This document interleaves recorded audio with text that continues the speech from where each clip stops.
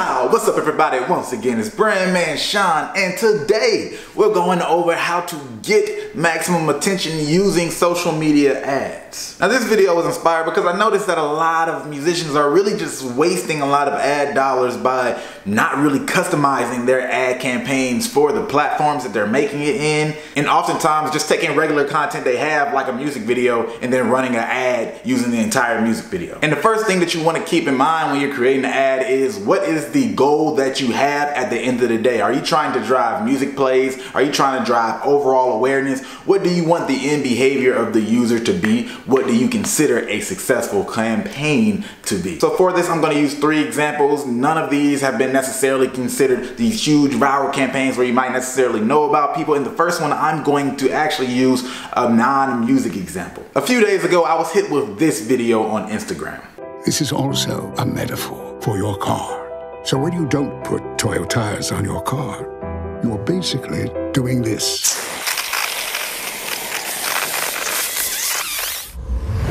Choose Toyo tires, not sprayed cheese.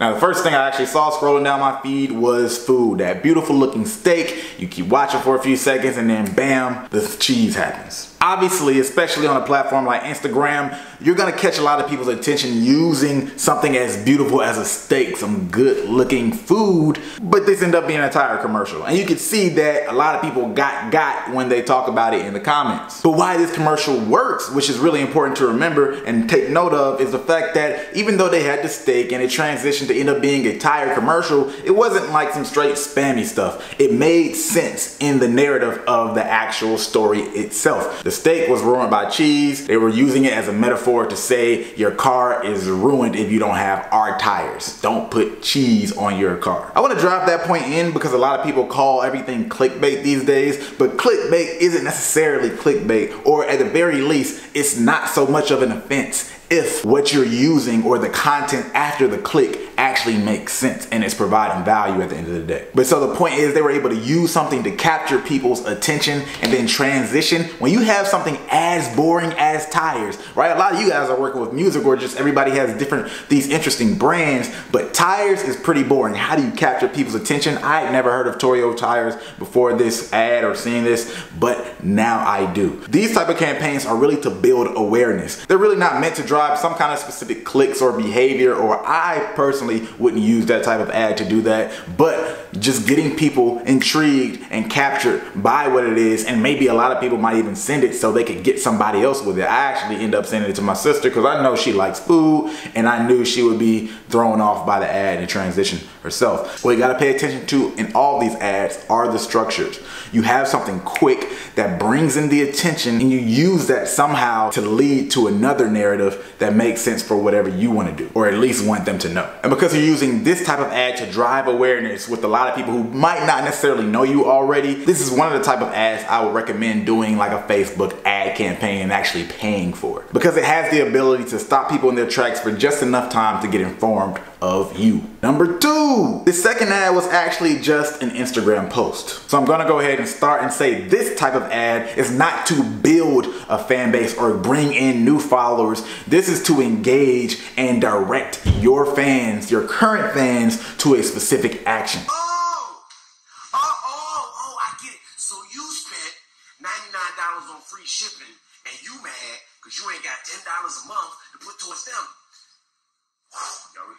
Patience today, huh? You really, really trying to piss me off. Okay, you know what? Fine, fine, fine.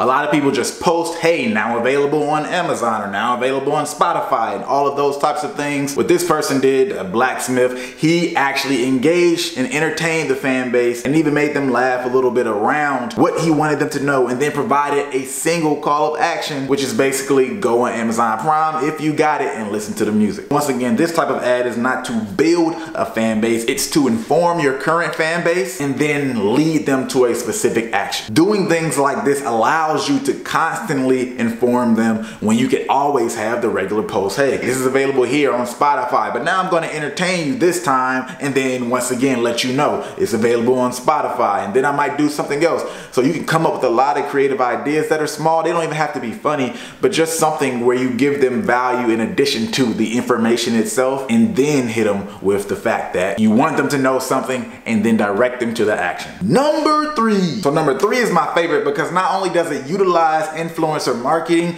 but it does it right.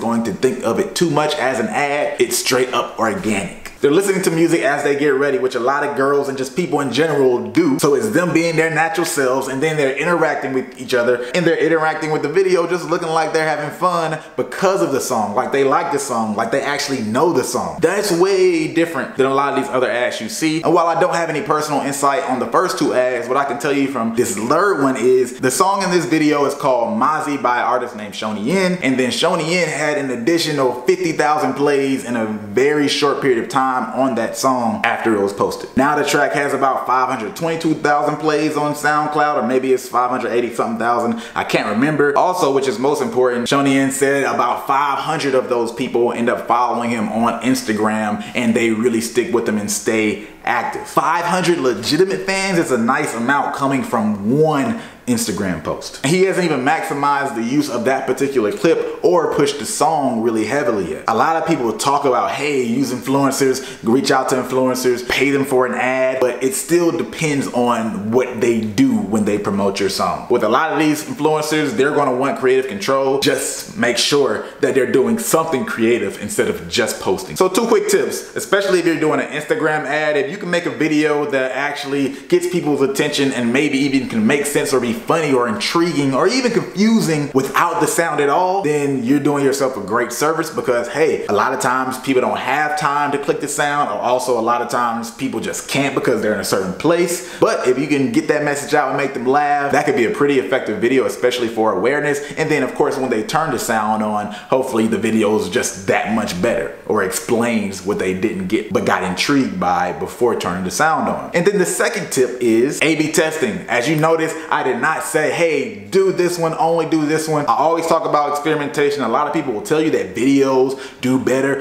on social media than text ads. But I say you test that for yourself because it all depends on your goals. What a lot of people get confused by is they'll see a bigger reach or they'll see bigger numbers as far as watches when it comes to the videos, but it just means people might have saw the video. But that doesn't mean much if they like the video or anything like that. So you might just want to use that as awareness just like the first video because a lot of times what you might find in my experience with text ads is you will have more clicks and better drive people to specific behaviors. If you don't have a good video ad in itself or even just good copy when you're writing your text ad, we can do a video about how you use language in your ads later. But for now, that's it. Y'all know what to do. Hit that subscribe button.